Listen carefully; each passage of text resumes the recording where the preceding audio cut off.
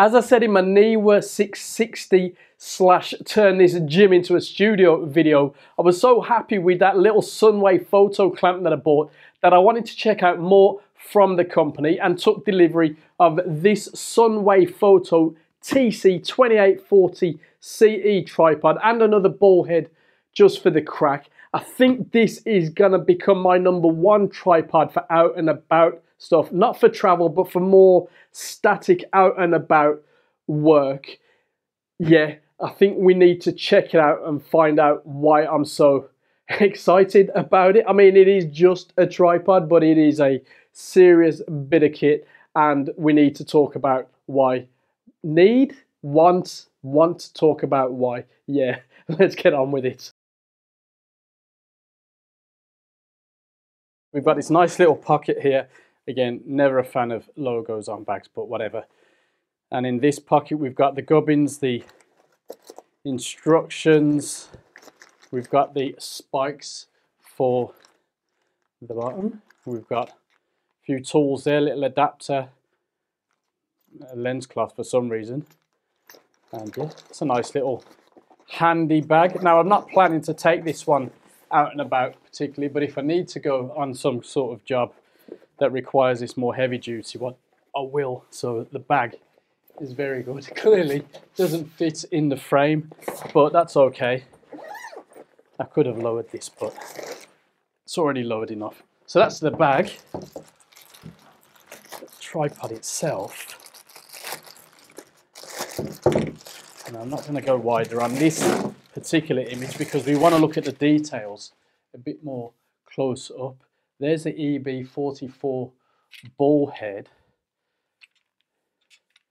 It's definitely, definitely a hardcore bit of kit. Now, let's see. This can come off. A few little logos there. We've got twist locks on the feet, which will take a bit of easing in. At the bottom you'll see the hook for weighing it down. You can unscrew that. Let's see what's in there. Nothing, but just in case you want to screw something else into there, that's fine. The tripod weighs 1.4 kilos, but has a load capacity of 16 kilos. Now you'll notice here pretty standard stuff, but we've got a stop, which I'll work out how to do in a minute. Normally it's a pull out. There you go. Everything on this one is a little bit stiff as it's straight out of the box, but yeah. So we've got three stops, 23 degrees, 55 and 85. The height with the legs fully extended, 163 centimeters or 10 centimeters at the lowest point. We've got some mounting screws, some quarter screws there. Now with the ball head itself, we can just screw that off for the moment. At some point that'll pop off. And this piece in the middle also can screw off and you've got the quarter there so you've got quarter and three eighths in case you need to switch around now I kind of like this. It's going to take some getting used to, but that's a very interesting little device. Very easy to grab onto. Now this ball head, I can get it back on to show you. Got Arca Swiss because that's what I'm dealing with pretty much all the time now. We do have some decent scales along here, so I assume if I turn there, we can see the rest.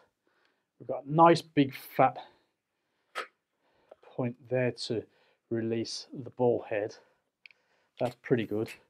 And for the panoramic, we can just turn there. It feels like it's going to be a very smooth action. This is definitely a tripod built for work. So we're going to put it to some work and then have a chat about how we feel about it. But before we do that, I do have another ball head that I wanted to check out. And this one, as you can see, is an XB38 ball head. Now I wanted to check it out because I think this might be even more suitable to me. And you know, let's see how they package these things. That's a nice little tool in there. That is pretty cool. Warranty, standard tools in there, lens cloth, again, bizarre, and a little adapter there. And the ball head itself comes in a baggie, which is kind of cool. So let's have a look at that. That is definitely pretty cool. It's a nice fat plate, nice and long.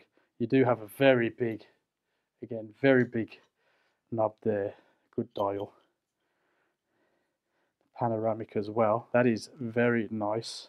It's a lower profile one than the one that comes with the tripod, which is why I was attracted to it.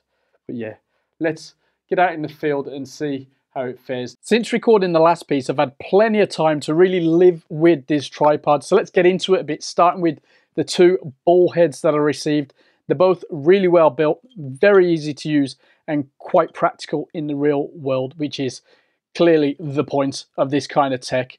The XB38 does have a lower profile and a better main knob, so could be more suitable for when I want to take this out of the studio, maybe for a single setup at an event.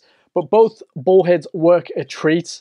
The XB is also better for switching between horizontal and vertical modes thanks to the grip and the second slot to go vertical. The friction knobs on both are a nice touch too.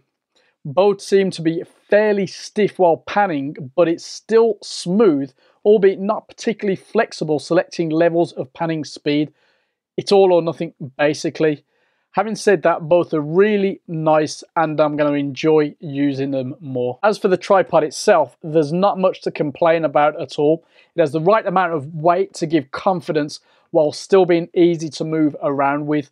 The locks for moving the center column and the leg splay are well designed and the center column weight hook is good although I'd have liked to see a tool included into the design instead of the you know decent tools that are included with in this case the tripod and the ball heads that I received. I'm more than happy with the flexibility of the tripod and the general ease of use. One nice touch that I like are these quarter 20 threads that allow you to mount anything you want, you know, like a monitor, transmitter, even a small camera if you want. Granted, it's labeled as a travel tripod, but we've already seen what I'm going to be traveling with on the occasions that I actually want to move around a lot with a tripod. So, you know, as I said, this is going to be my studio tripod with occasional event work use. For many of you, it's going to work out a treat for, you know, getting out and about. For me, something a bit more static. Um, but you know, you could get wet and dirty with this one without any worries about it lasting. 299 for a very capable tripod with weatherproofing, all the bits that you'll need, such as the tools that we saw, the bag, the excellent EB44 Epic goes for 99. It's a serious bit of kit and I'm confident that this is a solid setup that's going to last me for many years. I'd prefer to have the spikes hidden away under the rubber feet and somewhere on the tripod to store the tool. But, you know, these are just little things that maybe the designers can get on the go with the next iterations. Now, this thing does come with a six-year warranty. And if I'm still at it in six years, which I expect I will be in 2028, we can check back and see how this is getting on. Of course, we'll probably be trying out loads of tripods over the years, but I'm hoping this one's going to do me proud for a long time. So yeah, let us know if you've used anything from this company and how your experience has been. Now that XB38 ball head goes for 159.99, so more than the EB44, and it's an excellent of kit too. You don't need both, and while this isn't completely designed for this tripod. It obviously works a treat with it. In fact, as we said, there's features that I prefer on this one, but the EB44 Epic still quality. Yeah, there you go. It's not exciting, but it gets the job done and should last for a long time. Now it's over to you in the comments below.